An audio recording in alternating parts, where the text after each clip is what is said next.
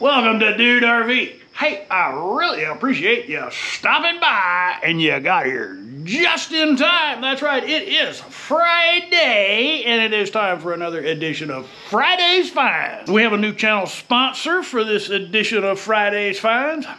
If by the title you've already figured out, we're going to be cooling things down. Our new sponsor is Zero Breeze. I got this great big old box yesterday. Let's get it open and see what's inside. All right, all right, I got a sharp object. Sometimes people say don't give Dude RV sharp objects. He's, a danger to society. I don't think anybody's ever said that. At least the society part.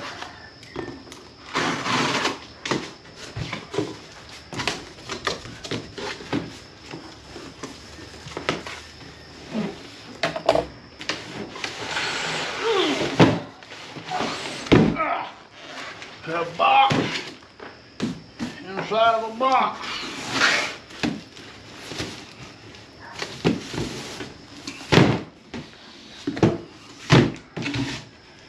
So we got a box inside of a box. We'll go with the, the little box first. I'm pretty sure I know what this is going to be.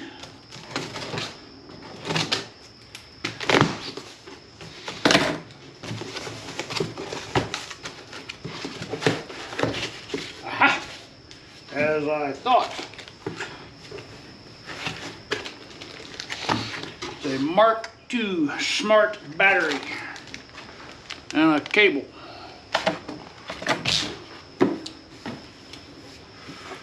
Set that off to the side. Keep that out of the way.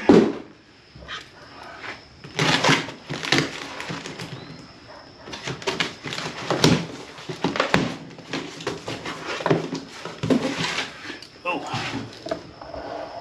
just the, there we go. As we're opening the box, we've got remotes, instruction manual, those are always handy. We got tubes, more styrofoam.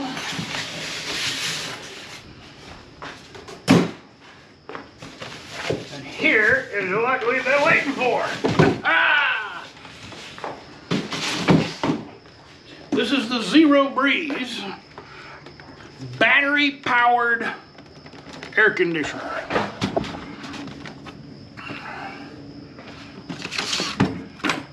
I got to do a little, I got to do some reading. I got to learn about how to operate this. Uh, um, once I've educated myself on the Zero Breeze operating procedures, I'll cut back in and I'll educate you. So stand by. The Zero Breeze Mark II is the most, as far as I know, as far as my knowledge goes, this is the most portable actual air conditioner available. And it is a true air conditioner. It's not one of those, it's not a swamp cooler where you're pumping more humidity into the atmosphere. I mean, we're in Texas. The last thing you want is more humidity on a hot day. You want to remove that from your space, that humidity, which is where why I'm so excited about the Zero Breeze Mark II. Because if, if you've been watching the channel, you know I have this really cool tent that I'm excited about using, but in Texas, man, it just gets so hot and humid during the summer. Tent camping is not real practical, at least if you're spoiled like, like I am. But the Zero Breeze Mark II comes with a battery, and it is actually a compressor air conditioner, which means it pulls the humidity out of the air. Now, it's a small portable air conditioner. It's only like 1200 BTUs. So you're not going to be cooling your house with this unless you're putting a couple in each room. So you're looking at a at less than 100 square feet. I, I, they, they said, they told me about 60 square feet. So a small, a tent, a van, cab of your truck, a tent. Now there are a couple of things that that we have. If you're using it just outside like this, there's a duct that goes on the front here that allows you to direct that cool air. I just have the fan blowing right now. On high, cool, the battery is going to last about four hours. And then you have to recharge it. Now they do have a an AC to DC brick, so you can power this with AC power. Meaning if you're in a if if if you have a campsite that has electricity, you can plug that in. It fits a little, it's gonna fit in the truck a little better than just a regular window unit. When we put it in the tent, and I'll show you all this when I get the tent set up, we've got to run the exhaust ports out because just the way this works, it pulls air in and blows air out uh, from the outside so that you get cooling. There's also a condensate condensation line as it removes the humidity from the atmosphere that condensation's got to go somewhere and you you don't want it to go on the floor of your tent. I'll set up the tent and we will dive deep into the Zero Breeze performance. I'm really excited about this. It means that I can go tent camping in the summer in Texas. How cool is that? I see what I did there? All right, stay tuned. More to come. Man, oh man, is it windy, windy. So I've set up, I've, I've put up the tent. Put up the bell tent and since I, I have no tree, big trees on my property and I have no, no shady spot to put the tent up to help minimize the heat gain from the sun, I decided to throw the silver tarp on there. It also helps with the wind, it deflects some of the wind off of it. So let's go inside the tent here and, and talk about the Zero Breeze.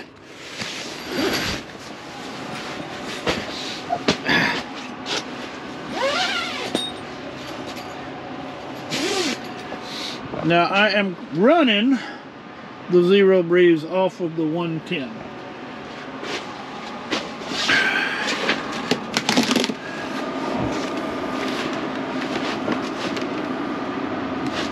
And it shows that we're at 70. There's a there's a thermometer you can see down in there. It shows that we're at 73 degrees, which is that's, that's not too bad. That's, that's not too bad considering that it's 98 degrees with like 60% humidity today. You can see we're pulling lots of water. Lots of humidity getting pulled out of the out of the air. So over the last couple of days, I have uh, I've put the, the Zero Breeze Mark II to to the test. Uh, basically just running it to see how long it runs in the various modes. And I found if you run it on uh, the turbo, you get about two hours. If you run it on just regular cool, you get about four hours. This is on the battery pack. This is, this is running off of battery power. So the one battery will last you about four hours on a regular cool you get about six hours, maybe almost seven on the night mode. And the night mode doesn't blow as hard, but it, it lasts longer and puts out enough cool air to, to, to make it comfortable, at least in here, if it's blowing directly on you. Uh, it has, it, it's it's cooler in here than it would otherwise be. There's no question about that. They give you several accessory options. You can get a second battery pack. And right now, I just have the battery pack and the battery charger. And that gives me the option to either charge the battery or run the AC. I can't charge the battery and run the AC. I don't have that adapter. They have an adapter for that. You can actually charge two batteries while running the AC on 110. They offer a 12 volt, now this is a 20 volt, 24 volt unit. You cannot run this off of a 12 volt without a step-up transformer because it's a 24 volt system. It has a, a, lot of advantages over a traditional air conditioner, like a little window unit. There, there's not any place that I can put a window unit in this in this tent. Now I have a, a small portable AC unit that I'd actually used in Ms. V, the Class C RV. And it would work in here with 110 power. So this has a battery and it can run at night for about six hours to keep you comfortable. It's not going to freeze you out, but it's going to be way cooler and remove the humidity from the air, which that's one of the differences between this and a traditional portable air conditioning unit. Those traditional portables actually evaporate condensation into the exhaust pipe. Whereas here, you have to have a, a container to catch it. Otherwise, it drips on the floor. The Zero Breeze has three ducts on it, as, as you can see. So you have an intake and an exhaust because it's pulling in the air from outside and exhausting it outside and that is taking the heat from the compressor and exhausting it out. With your conventional portable AC unit pulling the inside air and you're pumping it out. So you take some of your you take a lot of your cold air and you pump it out with the hot air. This doesn't pull in any more air, so you're not pulling in that hot air so it doesn't have to work quite as hard. In this particular situation, I've, I've created some separation between the intake. I've got that down low in the shade and the exhaust going out through the uh, chimney hole. So that works out really great. But I'm pretty certain if I was set up in, the, in a shady spot and I didn't have all this wind blowing constantly across the surface of the tent, uh, taking my cool air away. I'm I'm 100% positive that uh, we would be in the temperature in here would be in the 60s, probably the low 70s because the air coming out of here is showing uh, showing 75. And we can bump that up to rocket mode and that will increase the cooling amount. Is it worth the money. And I'm going to, with a caveat, say yes. And that caveat is, there's actually two caveats. One is if, if you're doing a lot of camping in the summer and you want some cool air at night, and being portable is important to you, then I think that the Zero Breeze is a great investment. If if money's tight and you're you're you're tent camping with a Walmart tent, and I'm not saying that's a bad thing. Uh, that's a that's a, a, good thing if you're actually camping and you, you, you, get out there and you camp for the, the least amount of money you can. I, I, I, I get it if you're camping in a Walmart tent, this this air conditioner is probably not going to do much for you because it's not airtight enough. So you need a, a substantial tent, a canvas tent, uh, that doesn't have a rain fly.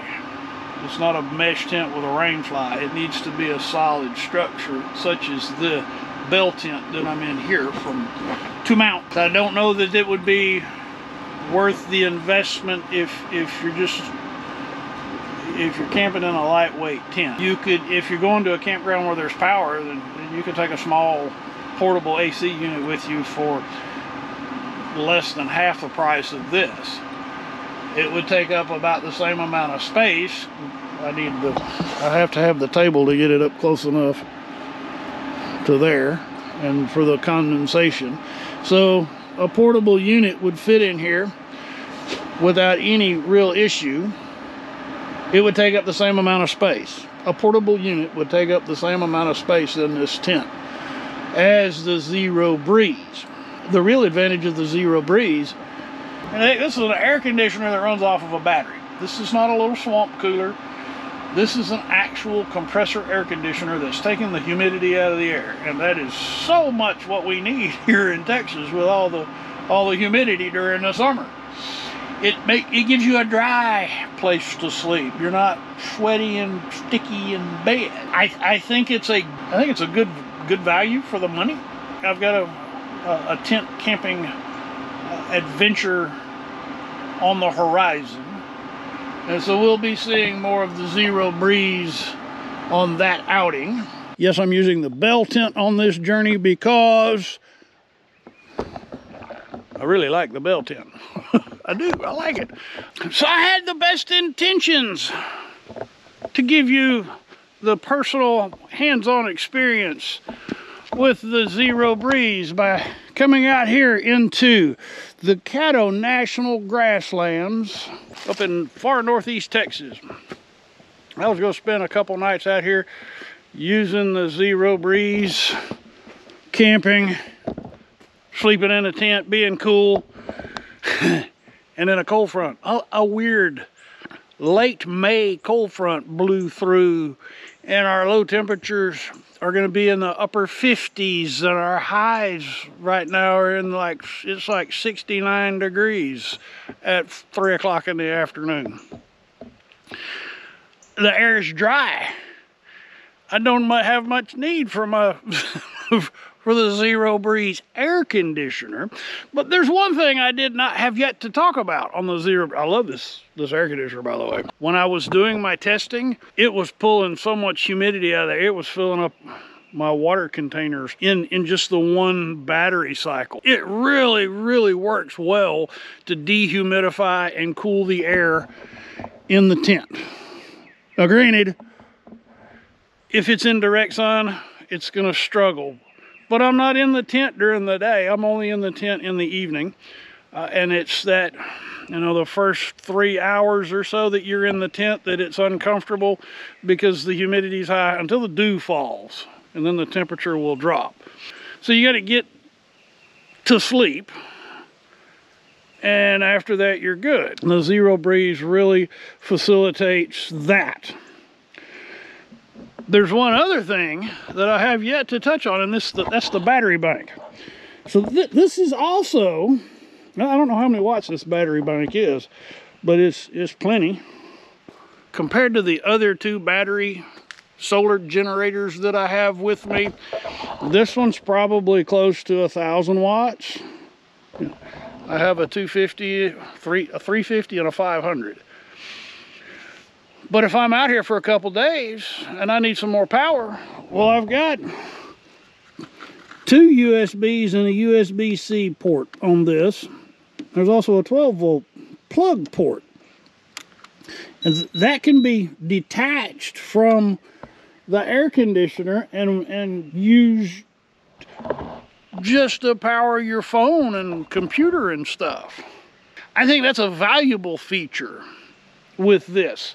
Because during the winter you don't need an air conditioner but you you really need battery storage. So that's just a convenient battery storage in the off season when you're not using it to power your air conditioner. I am working with zero breeze. They have sponsored this video and I am an affiliate and my affiliate link is in the description below and it's in the description up. If you decide you want to get one of these, use the code DUDERV10 they do have a, a money back guarantee. If you're not satisfied, they'll accept returns. They're not happy about doing it, but, but they'll honor that. If you're hot and you need something to cool you off, I think this is a good value. Hey, if this is your first visit to Dude RV, I really appreciate you stopping by and sticking with me through my air conditioner adventure. And now that we're out here on a real adventure, you might want to consider clicking on the subscribe button because I produce other content as well, not just portable refrigerator and tent kind of videos. I, I actually get out and do stuff, fun stuff. I go see stuff. So consider clicking on that subscribe button. I'd be most honored. And for those of you who have been following along, well, by golly, that's why I came out to the Caddo National Grasslands. I've never been here before. And maybe you should watch the video to decide whether or not you should come here. All right, and for my patrons, thank you. It's most appreciated.